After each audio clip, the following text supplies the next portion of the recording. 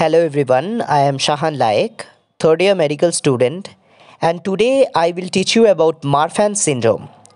Marfan syndrome is a genetic disorder of connective tissue and it is named after Anthony Marfan. He is a French pediatrician who first described the condition in 1896. So in this video, I will teach you what is Marfan syndrome, what is the cause of Marfan syndrome, what happens to the patients in Marfan syndrome, treatment of Marfan syndrome, etc. Now, what is Marfan syndrome? Marfan syndrome is a condition in which your body's connective tissue is abnormal. Connective tissue, remember this. Marfan syndrome most uh, often affects the heart, blood vessels, eyes, bones, lungs, coverings of the spinal cord. It is a genetic disorder, maybe a mutation or a change in the genes that makes the fibrillin makes the Marfan syndrome. Fibrillin is a protein that plays a major role in the body's connective tissue. So Marfan syndrome actually makes changes in the gene that produce this fibrillin which uh, which is a protein that has a key role in the connective tissue formation. Now what causes Marfan syndrome? Marfan syndrome is a genetic uh, disease. Mainly it is caused by mutation. This genetic changes is caused due to mutation or changes in the gene that controls how the body makes fibrillin which I told you in the previous slide. This fibrillin is important because fibrillin is a protein that makes your connective tissue. It may be bones, it may be eyes, it may be the covering of spinal cord, etc. Next, etiology. So, it is caused by mutation in FBN1 gene. Remember this gene name, FBN1 gene. FBN1 mutation generally found in 90% of the patients 75% patients shows autosomal dominant uh, although appearance of familial members and degree of pathological may vary. 75% patients shows autosomal dominant and 25% patients mutation occurs spontaneously. First fibrillin 1 gene mutation was identified in 1990 okay there has been different uh, variation of this mutation but remember the name at least remember the name of the gene. The name of the gene uh, for the mutation in Marfan syndrome is FBN1 gene mutation. So Marfan syndrome is caused by mutation of which gene? FBN1 gene mutation. Remember the name of the gene which is very important for your exam uh, it generally is asked in MCQ questions like uh, they will ask you the etiology or cause of the Marfan syndrome and give you different uh, genes name and you have to choose and give the answer properly. So the etiology or the cause of the mutation for the Marfan syndrome is FBN1 gene okay? Remember this thing which is very very important the next is signs and symptoms. Marfan syndrome generally uh, affects the long bones of the body. You have long bones, example, femur. You have the long bones. So, and the signs can be tall. You can become very tall and thin if you have Mar Marfan syndrome. The patient will come. The patient is very long, very tall and thin. Long arms, legs, fingers, toes, flexible joints, and spine also curves to one side because of the because the connective tissue disease. So the spine also curves to one side. This condition is called scoliosis. Remember this is called scoliosis. Chest also sinks. And this is called pectus excavatum. When it sinks it is called pectus excavatum. And when the chest generally comes out it is called pectus carinatum. So remember this thing and teeth if you look at the teeth of these Marfan syndrome patients they look overpopulated overcrowded and Marfan syndrome patient also has flat feet Now look at these uh, patients. You can see Marfan syndrome patient with scoliosis, ectopia. Uh, the lens is uh, um, uh, coming out. You can see, and you can see normal hands and Marfan uh, syndrome hands. The elongated fingers, long bones of the arms, the radius and ulnas are elongated. And if you see the mouth, it is overcrowded teeth. Now epidemiology what is the epidemiology 1 in 10000 live birth of the patient 1 in 10000 patients has this Marfan syndrome generally it is considered as autosomal dominant remember this Marfan syndrome autosomal dominance with the high uh, penetrance but variation variable expression both interfamilial intrafamilial clinical variation is common so in family variation can be found uh, there is no racial or gender preference. So you cannot say that Marfan syndrome occurs in males only, not on females, or females only, not on males. There is no gender preference, and also there is no racial preference. Like you cannot say Marfan syndrome occurs in a particular group of people, particular race. Next, differential diagnosis. This is very important. Aortic aneurysm syndrome so you have to understand the first one that is Loeys Dietz syndrome.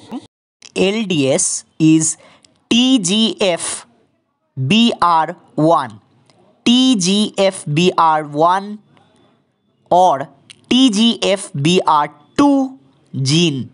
So which are the genes which is responsible for Loeys Dietz syndrome that is related with aortic aneurysm that is TGFBR1 or TGFBR2 gene. Okay.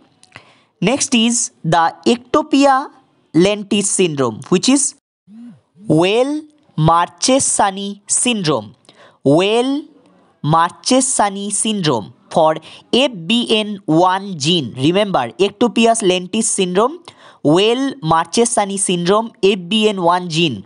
And for aortic aneurysm syndrome, Loeys Dietz syndrome LDS TGFBR1 or TGFBR2 gene is responsible.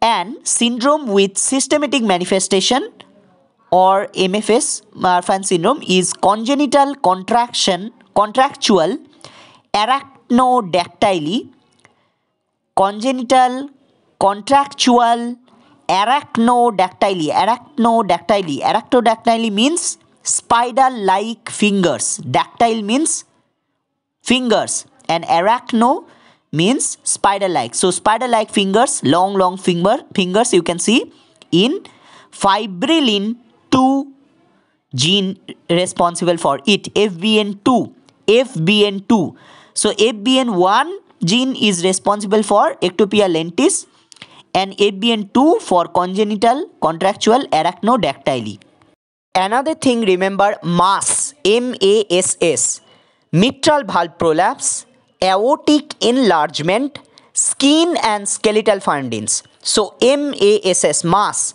M for mitral valve prolapse, A for aortic enlargement, S for skin and S for skeletal.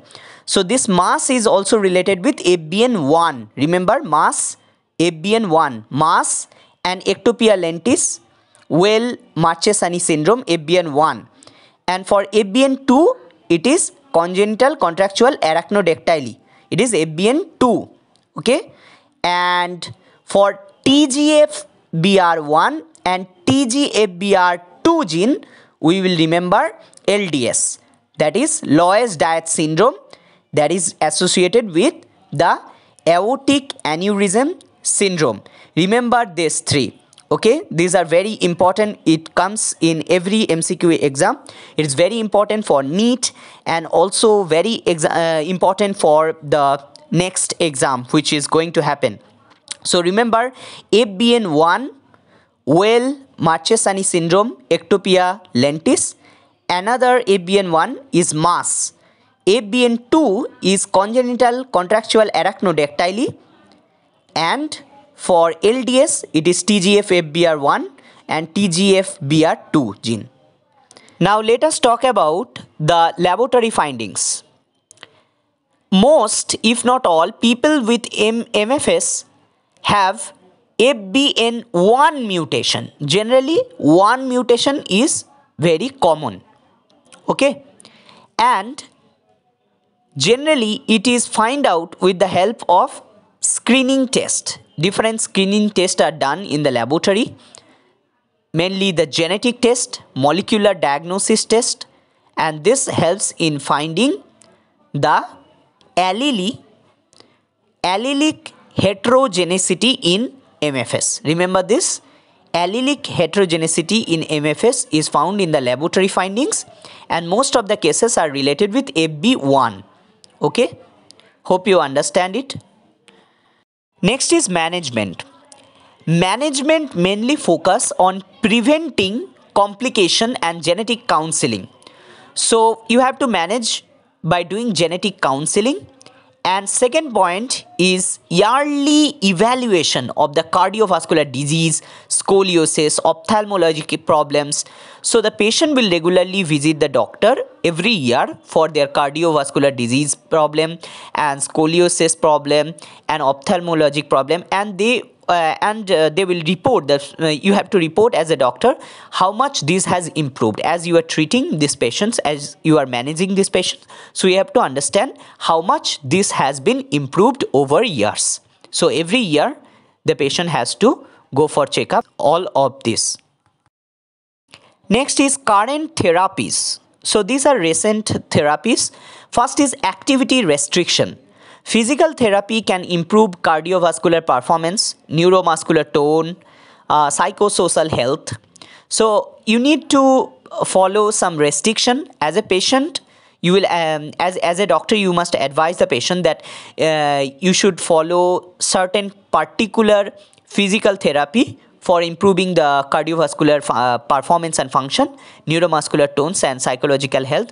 Second is you have to take the aortic surgery aortic surgery is very much recommended for the adult patient because they have this aortic problem in the MFS. So they have to go for aortic surgery when their aortic root diameter approaches 50 millimeter. So when the aortic diameter is 50 milli 50 millimeter, then you will ask the patient for go for aortic surgery.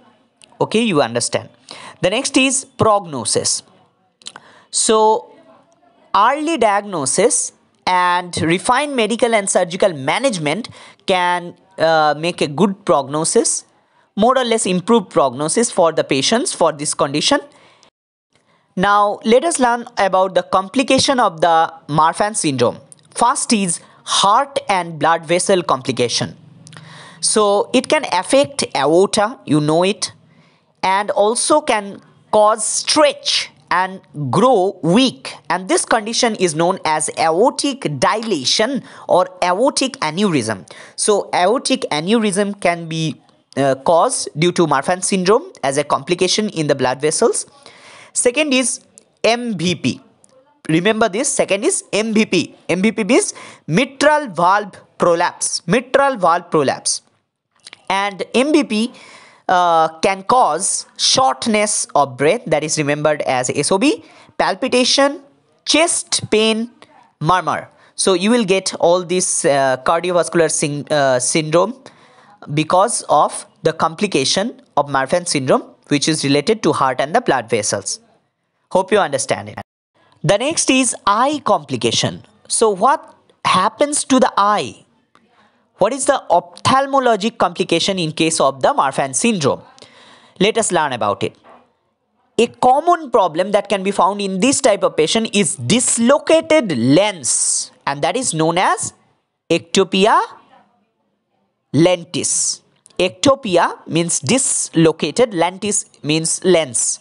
So the lens of the eye is dislocated and this can affect your eyesight. So if the lens is dislocated, then you cannot get a clear vision. Hope you understand it. So other eye complication can be nearsightedness, glaucoma, cataract and all these eye problems, retina, detached retina problems and all this. Next is the nervous system complication. What happens to the nervous system of a Marfan syndrome as a complication?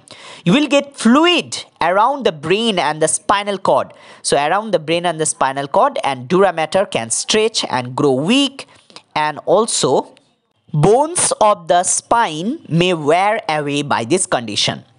So this condition is known as dural ectasia. Dural ectasia. So you get all this complication of the eye and the nervous system by this.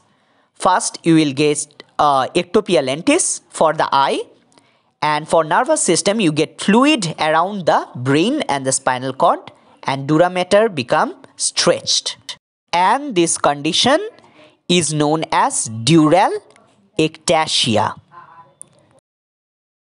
Next is uh, the lung complication okay so before that let me tell you because of the dural ectasia you will get lower back pain abdominal pain headache numbness these are all the neurologic symptoms.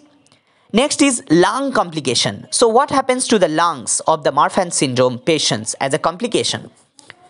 It can cause sudden pneumothorax. So you will get air in the thorax. Pneumo means air. Air in the thorax. And this will lead to collapsed lung. So the patient will have collapsed lung or pneumothorax condition and with sudden pain in one side of the lungs. This patient will have SOB, shortness of breath. So Marfan syndrome patients will have pneumothorax, collapsed lung, SOB and sometimes emphysema can also occur and also sleep apnea. Next is a diagnosis of the Marfan syndrome. See here, the first one is medical and the family history because the doctor will ask and take the history of the patient and in the patient's family, the, uh, the patient will report that they have this condition that is Marfan syndrome. Second is the physical examination. You will check the curvature of the spine. The patient will show scoliosis. You may uh, uh, find also the heart problems like uh, the aneurysm and also lung problems uh, like pneumothorax and all this. So you can uh, use the echocardiography, you can use MRI, CT scan and also slit lamp exam it can find out whether you have dislocated lens cataract or detached retina. So generally slit lamp exam is actually a ophthalmologic exam by which you can understand whether you have a dislocated lens, cataract or detached retina. And another way is uh, genetic testing. By genetic testing you can understand if the person is having Marfan syndrome or not. So these are the way for diagnosis of Marfan syndrome. Now treatment. How can you treat Marfan syndrome? The first one is the heart treatment. First, medical.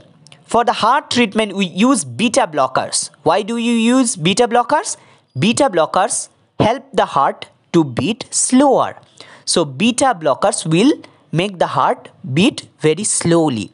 So slow for making the heartbeat slow, beta blockers. Another is relieve strain and slow the rate of the aortic dilatation because you have aortic dilatation, you have aortic aneurysm.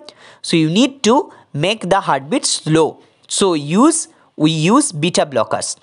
Second is surgical. So you need surgery to repair and replace the part of the aorta and also for the mitral valve prolapse. So MVP, you need to do surgery. Second is eye treatment. For ophthalmologic uh, treatment, you need to glasses. You need to give contact lens for the person because the person have may have several uh, problem like uh, ectopia lentis and other problems. Next is nervous system treatment. So for dural ectasia, you will be uh, it will be treated with pain medication because the patient will have several back pain or abdominal pain or something like that so generally the patient should be given this and lung treatment chest tube used to treat pneumothorax so what is chest tube? Chest tube is actually a tube that is used to remove the air in the chest cavity. So the chest cavity has air and that is why it is known as pneumothorax. Sometimes surgery is also required for treating this condition. Next is revised Ghent criteria. So this was uh, the revised Ghent criteria was introduced in 2010. It uh, mainly emphasizes on the key feature of the Marfan syndrome like uh, the first one is aortic root aneurysm or aortic root dissection first one is aortic root aneurysm or aortic root dissection and second one is ectopia lentis so this mainly the key features of marfan syndrome second is uh, new systematic scores are given for you can understand uh, with the help of numerically whether you have the marfan syndrome or not. Second is the highlights the identification uh, of the additional features that would uh, give an alternate diagnosis. Because there are many uh, symptoms which is also related with the Marfan syndrome and that is why this can helps in making a diagnosis proper diagnosis whether it is Marfan syndrome or not. Next is provides a more precise role for the molecular testing. So this was the revised Ghent criteria. This was introduced in 2010. You have to understand this is mainly uh, the uh, it mainly emphasizes on the key feature of the Marfan syndrome that is aortic root aneurysm and uh, or aortic root dissection uh, and ectopia lentis remember this thing now criteria for Marfan syndrome diagnosis in patient with no family history. So if a patient comes to you and they says that there is no uh, no one in the family showing this kind of syndrome that is the Marfan syndrome.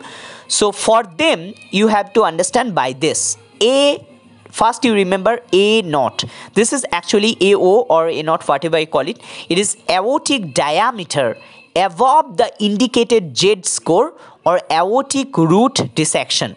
So it is the aortic diameter. So AO Z greater than equal to 2 and ectopia lentis.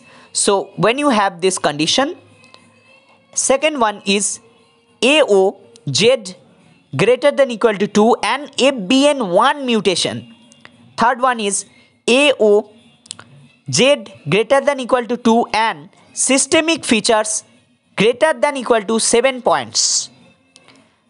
Last one is ectopia lentis and FBN1 associated with known aortic involvement. So all these are uh, responsible. Next is criteria for Marfan syndrome diagnosis in patient with positive family history. So a patient comes to you and they says that these conditions is there uh, similar these conditions are found in other family members of them. So for them you need to point these things. First one is ectopia lentis and family history of MFS. Second is systemic features greater than equal to 7 points and family history of MFS. Third point is A0 or AO family history of MFS.